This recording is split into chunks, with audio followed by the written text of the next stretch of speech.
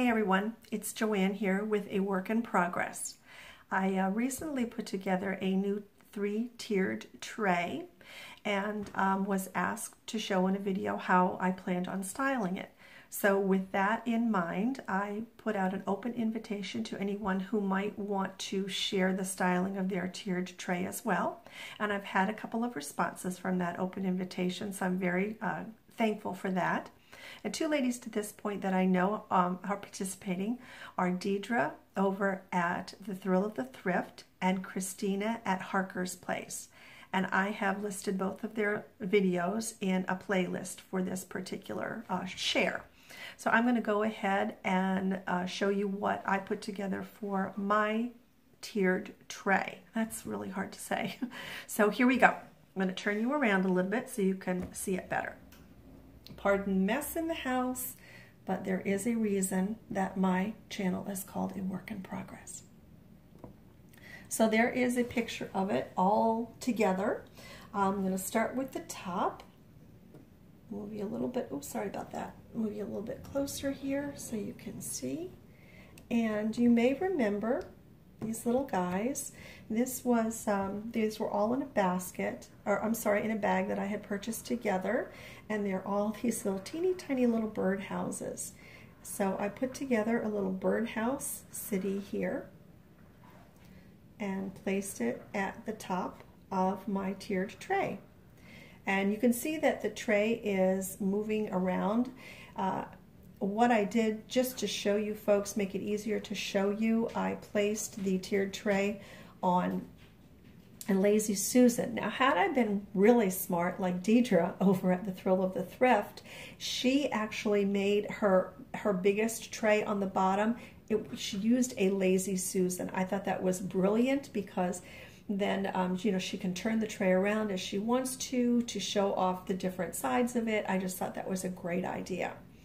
So I'm going to move you back a little bit here so you can see, there we go, the second tray. And here are a couple of the animals that uh, cast iron that I got in a bag of cast iron uh, dogs. And here are the bunny rabbits from a while back. And here I uh, fashioned two, I made two of them, the farmhouse bead strands and these beads I bought in a whole bag of them and then just put them on the jute twine and made tassels for them one night when I was watching TV.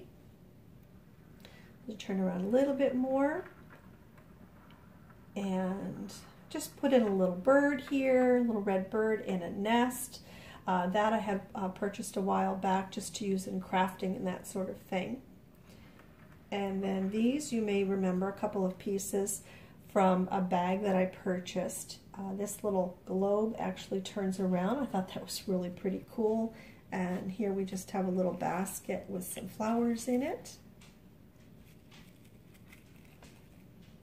And then the final bottom tray, I have to move you out here for that. And here we have another piece from that basket. And here we have a couple of little ceramic kitty cats. Little, these little guys are hiding behind the tassels. I got all of those in a bag not too long ago as well. And this is just a little uh, cream and sugar that I purchased not too long ago.